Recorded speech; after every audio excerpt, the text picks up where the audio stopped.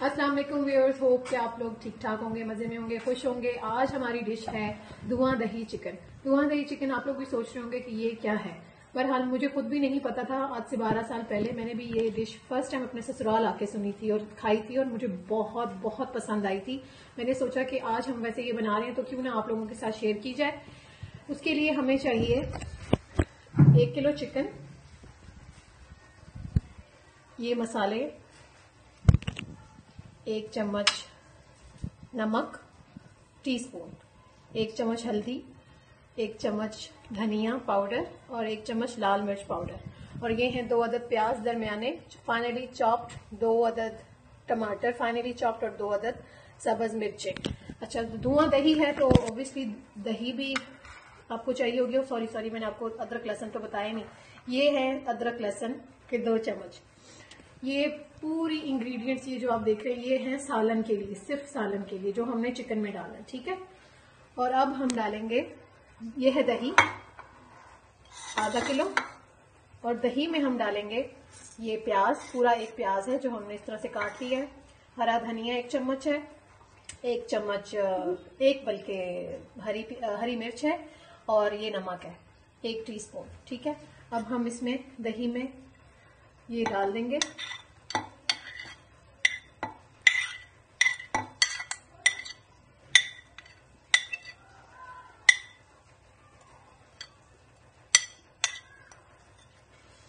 ये अदरक भी ऑप्शनल है। वैसे हमारे घर में इतना अदरक को पसंद नहीं किया जाता, इस वजह से हमने इसमें अदरक नहीं डाली।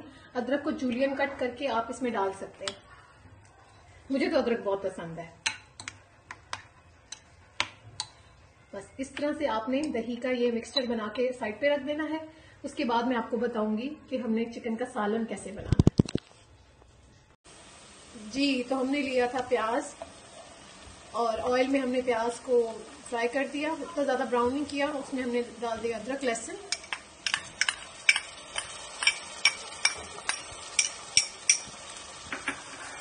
ऑयल में प्याजों को फ्राई करके अदरक, लहसुन डाल के अब आपने चिकन डाल दिया चिकन को बहुत अच्छी तरह से भूनना है। जी जनाब, ये देखिए, हमारी चिकन हमने फ्राई करते करते इस हालत तक पहुँचा दी है। ये देखिए, इस तरह चिकन हो जानी चाहिए, ठीक है? अदरक, लहसुन, प्याज ऑयल और चिकन ये चार चीज़ें अब इसमें हमने वही टमाटर के चाप किए हुए थे वो डाल दिए हरी मिर्च।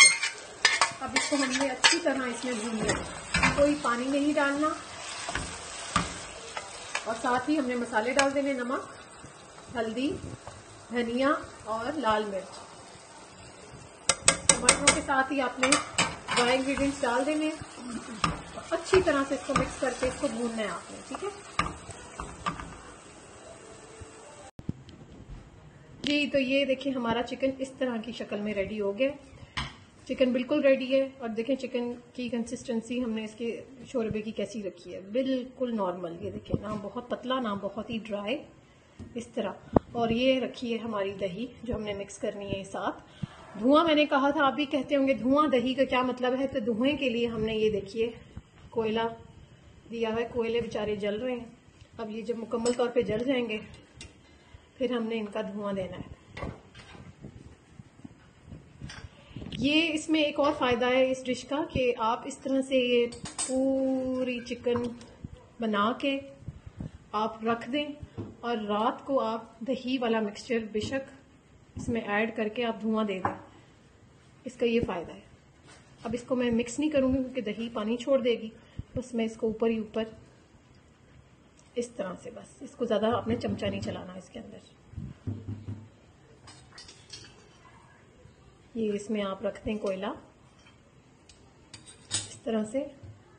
और हल्का सा ऑयल डालें और ऐसा ढक्कन लें जो कि फिट आ जाए। कुकर का ढक्कन भी दे सकते हैं, लेकिन कुकर के ढक्कन के ऊपर सुराख होता है, जिसकी वजह से वो धुआँ निकल जाता है। हमने तो एक्चुअली धुआँ ही देना है उसको, ताकि उसमें से स्मोक का टेस्ट आए।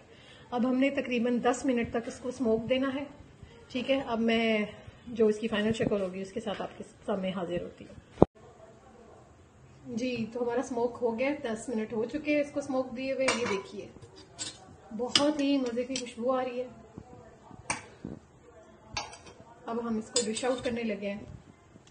इसको बस हल्का से इसी तरह अपनी चम्मच चलाना है बहुत ज़्यादा नहीं चलाना बिल्कुल ही दही को मिक्स नहीं करना इसमें। बस इसका थोड़ा सा व्हाइट व्हाइट कलर भी नज़र आना चाहिए।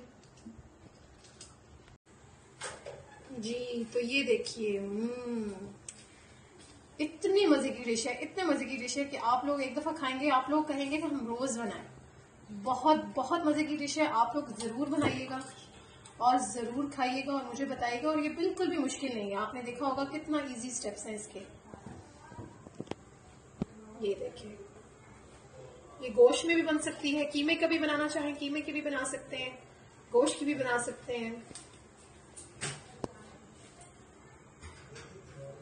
चलिए आप बनाइएगा और खाइएगा और मुझे बताइएगा। थैंक यू अल्लाह हाफिज।